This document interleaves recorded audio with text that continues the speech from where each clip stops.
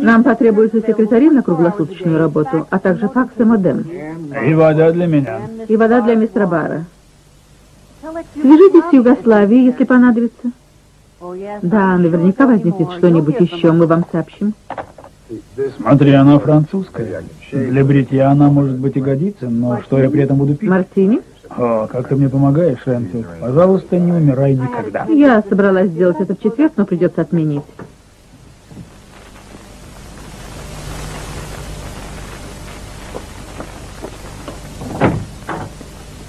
Мисс Динаполи, рада вас видеть.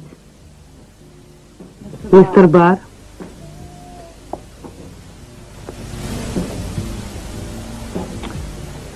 А, Лиза, впервые здесь появился человек, который вызывает у меня положительные эмоции. Давно не виделись, Роберт. Да, давно. Что случилось? Просто подумал, что ценю проделанную тобой работу даже выше, чем твою бесподобную внешность. Благодаря тебе я смогу заполучить Capital Enterprises.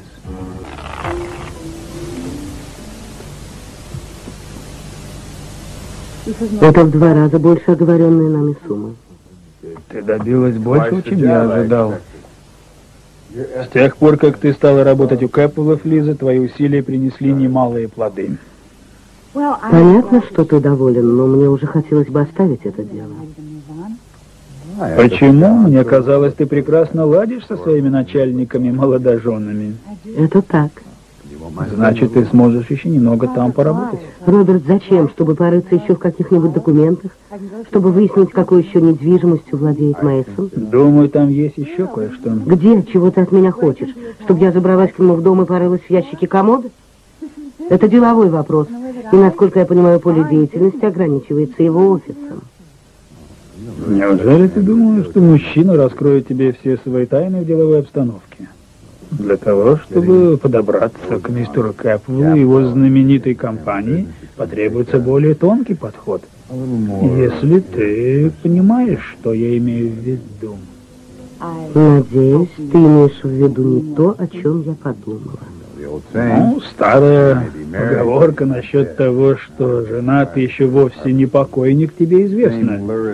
Я ничуть не удивлюсь, если у него имеются тайные помыслы, которые возникли бы у любого мужчины. Как это мило.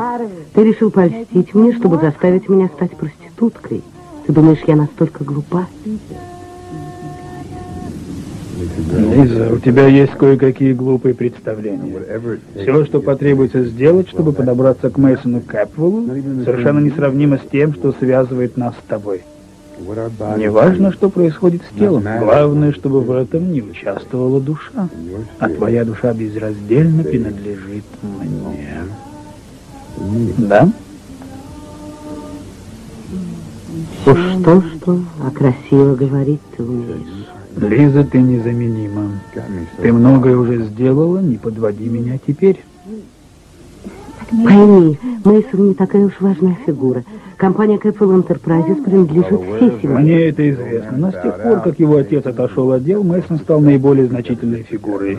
Похоже, он неплохо смыслит в бизнесе. Отчасти, но Иден тоже на многое способен. Да, это я знаю. А ее сестра Келли... Едва справляется. Собственно, все члены этой семьи склонны повиноваться велению сердца, а не разуму, даже сам Сиси. И как раз это позволит мне добиться того, к чему я стремлюсь. Надеюсь, это мой ланч? На самом деле это проектор, но если ты очень голоден, можешь полить его приправой для салата. Я голоден, как волк. Никакой химии. Не понимаю, как ты можешь питаться исключительно полезной пищей? Тебе никто не говорил, что холестерин чрезвычайно вкусен? Груз уже прибыл из Дубровника. Отлично.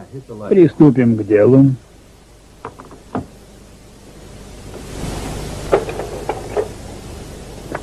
Вот так выглядит нынче Ченнинг Крайтон Кэпфелл. О, старикан неплохо сохранился. Примерно таким я его и помню. Он отошел от дел, но его железная воля еще дает о себе знать на семейном фронте. 13 мая этого года перенес инфаркт миокарда. Видимо, переел салатов. Но довольно быстро поправился.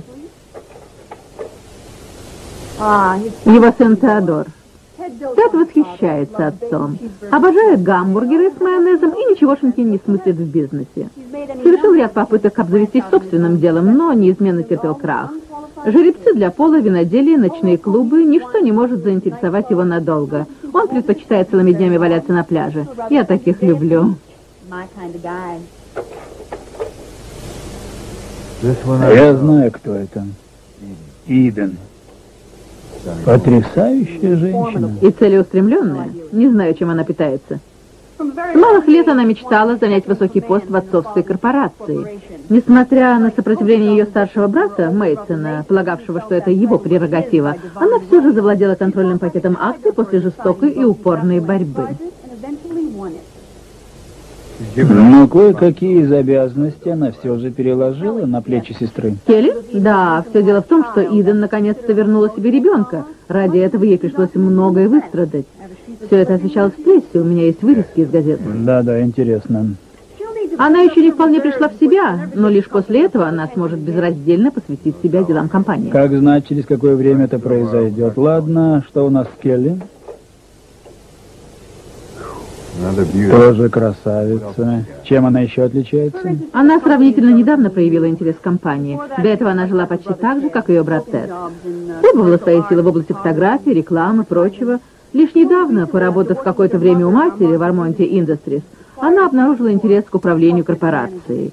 Одним словом, способности у нее есть, но нет опыта. Вдобавок она то собирается за кого-то замуж, то сбегает от жениха из-под венца. Я же тебе говорил, Кэпвеллами движут эмоции, кроме вот... Да, вот этого. Ну и у него должны быть слабости. Он закончил Гарвард, стал блестящим юристом. Может, у него проблемы по части напитков? Бинго. Мейсон алкоголик. Какой подарок судьбы, а? Ну что ж, демонстрация оказалась весьма наглядной, Ренфилд. По крайней мере, благодаря этому удалось определить подходящую мишень. По-моему, нам удалось отыскать слабое место у каждого из членов семейства. Но мне хотелось бы найти еще и союзника, который ненавидел бы Кэпвеллов и жаждал бы полюбоваться крушением их империи. Ну что ж, таких найдется несколько тысяч, я полагаю. Все могущественные люди окружены злопыхателями. Тогда составь список. Мы решим, кто нам пригодится. Должны же быть люди, которым хватит ума, чтобы выполнить наши распоряжения, но не хватит для того, чтобы забрать власть в свои руки. Я позвоню в ближайшую лабораторию, спрошу, нет ли у них подопытных мышей. Ну что ж, этот небольшой эксперимент войдет в историю, Ранфилд. Упадок и гибель империи Кэп.